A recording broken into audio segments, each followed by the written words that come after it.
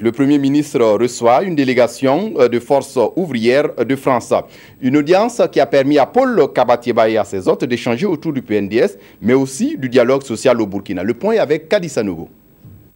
Une délégation du syndicat des forces ouvrières de France en séjour au Burkina chez le Premier ministre.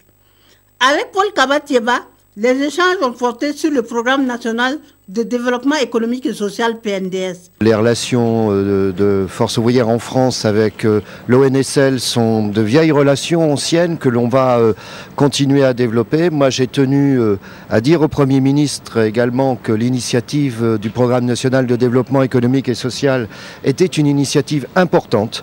Hein, euh, que nous soutenions, hein, y compris vis-à-vis euh, du gouvernement euh, français.